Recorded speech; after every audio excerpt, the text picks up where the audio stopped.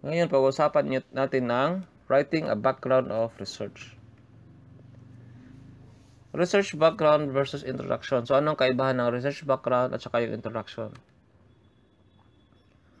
Ang background discusses in-depth about the topic.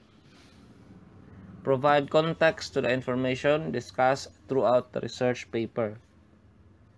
So, ito yung background. In-depth siya at um, discusses throughout the research paper. No? Provide context to the information.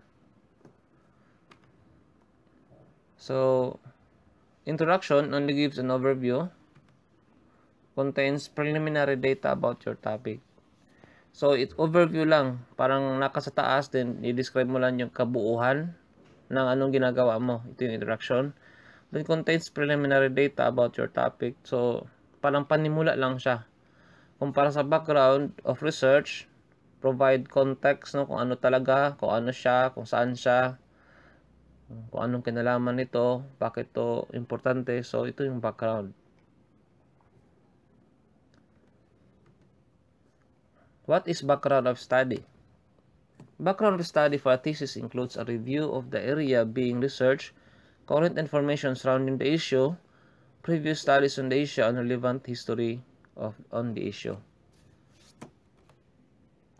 It also describes the rationale and justification for its conception or selection. A connection among the contemporary situation or circumstances from local to international must be established. So, ito yung background of study.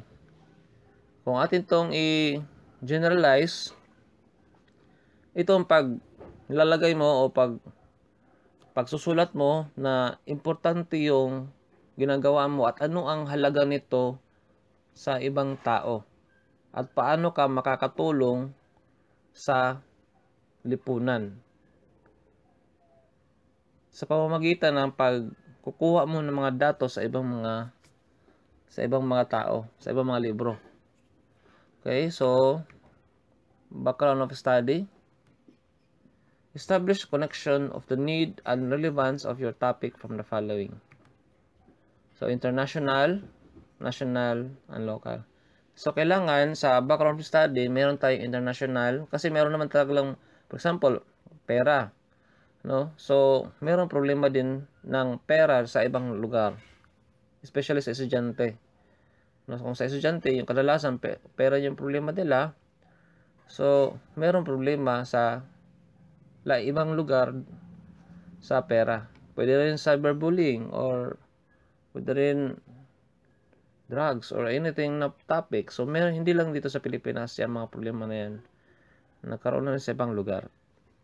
National, so for example, Philippines, nag-cite ka ng article or book na nag-cite ng topic mo.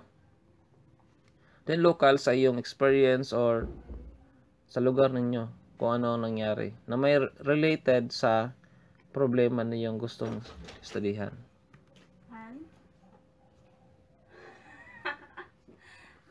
Sample of research background. So, ito yung research background na ginawa ko noon. So, kung nakita ninyo, ito ay, dalawang ito. Ito yung international, dalawang paragraph yung international, tapos national, tapos yung local. Ito, sa amin. So, nirelate ko yung topic, which yung topic ko ay computer, video game, addiction, and its intervention at Patti School of Arts and Trades. So, ito yung topic ko. Tapos, um, ito yung sample. So, basahin nyo lang ang sample.